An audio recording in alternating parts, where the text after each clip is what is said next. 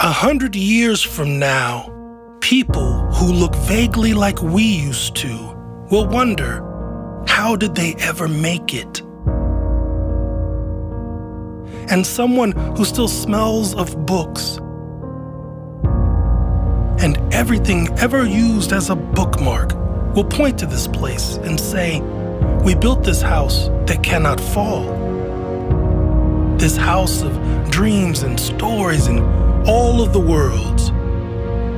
For those evicted from their homes, we built bigger living rooms, widened the doors to bursting, add entire wings, and then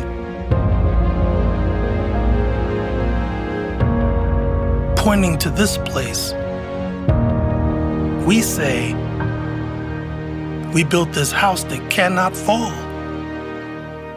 And in it, you may be free at last.